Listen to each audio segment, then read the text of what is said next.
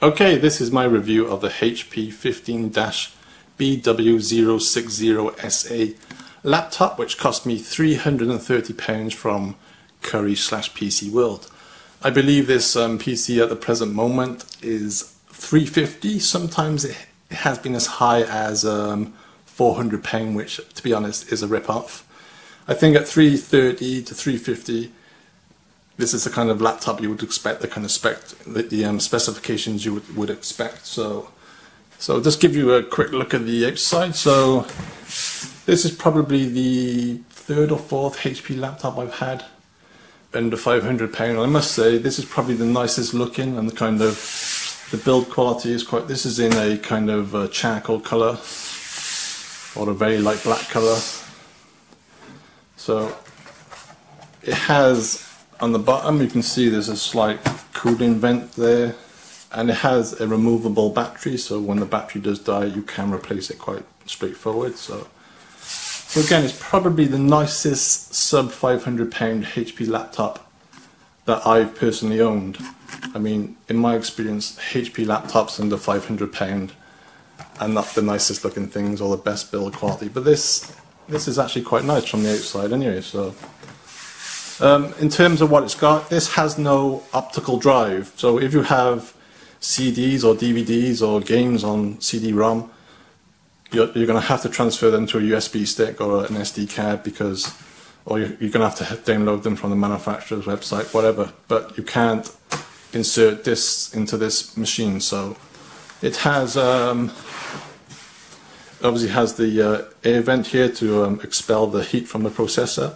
It has an Ethernet port, it has HDMI, it has two USB 3.0s on the, on the left hand side and one USB 2.0 on the right hand side and of course an SD card. So that's basically all you get. So let's take a look at the laptop itself. Just trying to open this with one arm. So like I said, this is probably the nicest looking sub 500 pound HP laptop that I've owned. I mean the keys are nice. It has it has a, stand, a standard touchpad with two keys rather than just one of these giant oversized touchpads which you click on the left or right hand side. So I prefer this as you can rest you know one or two fingers on the keys while you use your left hand to um, move move around the um, touchpad. So again, the keyboard's quite nice. It's kind of you know the color is kind of like this nice kind of swirly kind of effect on the kind of like a wood effect on the actual inside of the laptop it has a uh, a standard keypad the power buttons up here in the in the left hand corner. It's a little small in my opinion. It's kind of kind of kind of fiddly to kind of press but it's, it's okay.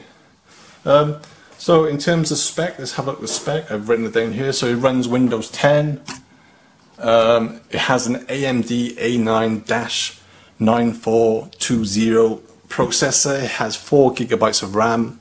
It has 1 terabyte of storage on the hard drive and it has a full HD display.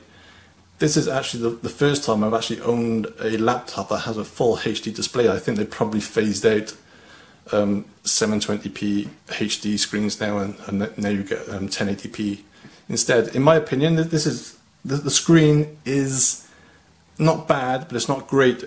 What you can probably see on the camera itself is um, it looks a bit dull and faded in, in bright sunlight. I mean, I'm sat here in the kitchen next to a window and it's kind of, um, it's not the brightest to be honest. I mean, here's the brightness keys here and go up or down. And it doesn't really make that much difference. So, I mean, I think you want this laptop to, be, to use outside in, in bright sunlight it's probably not the laptop for you. So I would avoid this laptop if you are going to use this out in the sunshine. So uh, in terms of um, the actual quality of the screen, what I have noticed with the full HD screen is that the pictures, when I take pictures with my digital camera, the image quality is a lot sharper. As long as you view the images in a nice dark room, the kind of quality looks a lot better than 720p. So that's kind of a plus point. So let's kind of have a look at the spec again. So it has a AMD A9 9420 processor. Now, um, this processor is probably the equivalent of a Intel i3 processor. I've um, done quite a lot of research. It's kind of get a, it's kind of difficult to get a clear answer, but it's kind of in the same kind of level as a i3 processor. So it's a pretty good processor. It's not, it won't blow you away. It won't play the latest video games or stuff like that, or kind of process videos super fast. So um, in terms of the age of the processor, I believe, again, this is not the newest processor. It's now 2018. I believe this was released in May 2016, so it's roughly two years old.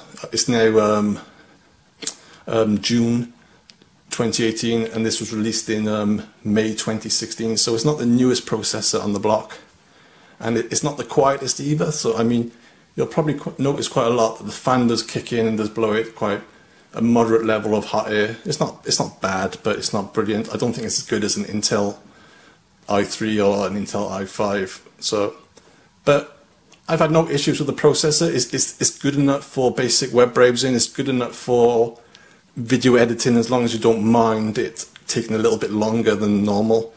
I've been able to run Cyberlink Power Director no problem, but it does take a little bit longer stay than an i5 processor, and obviously a lot longer than an i7 processor. So um, it has four gigabytes of RAM. I mean, that's probably the absolute bare minimum you want these days. I mean, a lot of these kind of really cheap, cheap laptops have two gigabytes of RAM, and that's just not enough. So four gigabytes is enough for basic um, tasks like web browsing, um, video processing, stuff like that. But it's probably the bare minimum you would need these days. So again, it has one terabyte of storage, which is plenty to store loads of movies, um, lots of documents, lots of photos, and so on. So, so yeah, so I wouldn't say this PC, if, if you're buying this PC to play games, I would say forget about it. I mean, it might it might just play games at the lowest setting if you're lucky, but you know with with an A9 processor and only four gigabytes of, of RAM, you're not going to be able to play the latest games at the at, even at a moderate level, you know, a medium level. So so again, this isn't a games machine. This is for browsing the internet, you know, word pro processing and basic video editing and stuff like that. So so yeah, so there's not much much more to say. What I would say is I, have had one problem with this um, kind of computer. So far, it's failed to update the latest Windows um, update. I mean, when I bought it, there was a Windows update. A couple of days later, I've, I've had this roughly six weeks. So after about a week, there was an update and it wouldn't install it. And a couple of weeks ago, there was a major update and it won't install that either. So it's kind of it's a little bit of annoying that it's failed two updates it was fine at first. It updated basic um, Windows 10 updates, but then it kind of got stuck and it won't update them. Hopefully this is just an isolated incident with mine. Perhaps I might have to do a factory reset and start over again, which is kind of a pain in the ass, but you know, if, if that's what I have to do, that's what I have to do. So hopefully that is just an isolated incident with this PC and, and it doesn't affect others, but it's not updating to the latest Windows 10 update, so just to let you know if you do have that problem, it may be, you know, a big, big problem on all these models of HPs, but hopefully it's not. So, yeah, so at £330 to 350 I would definitely, definitely recommend this laptop. I mean, it starts up nice and fast. If I just, you know, if I open up a web browser, say such as Chrome, it loads it nice and fast.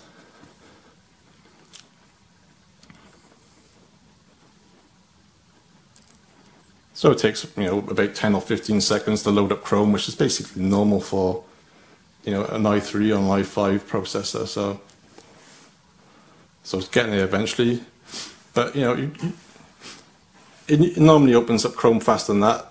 But again, you know I can open up Firefox.